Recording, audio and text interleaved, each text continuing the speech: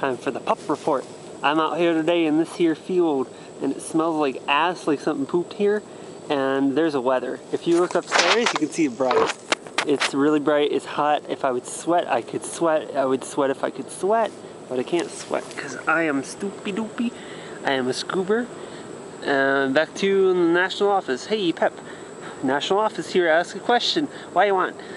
The uh, question is, what's your favorite bedtime snack? Pep says, I like a sit-and snack. Sit-and snack is my favorite snack for the bedtime puppy lap.